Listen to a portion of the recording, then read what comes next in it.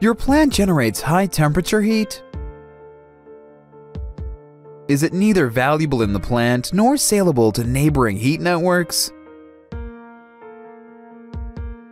Meanwhile, you really want to be energetically effective because the energy price is increasing fast. And you are willing to become more planet-friendly? No worries! Enertime, an industrial French company, has a unique solution, ORC Technologies. In 12 years, Enertime has developed this innovative thermodynamic technology.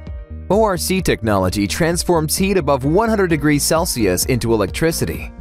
European products to be sold all around the world. ORC technology is associated to Energy Economy Certificate, EEC, which are going to revolutionize the valuation of industrial waste heat recovery market. All we need is a plant with waste heat. ORC produces electricity which could be fully self-consumed by the plant at lower prices than the grid. This electricity is produced continuously without any CO2.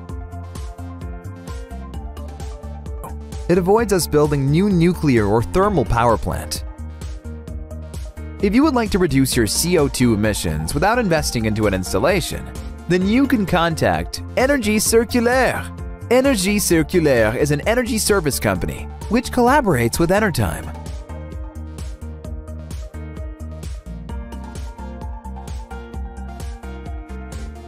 Eventually, if you want to evaluate your plan's potential and see if your waste heat could be valorized, it's easy. Log in to www.energie-circulaire.com to do it yourself.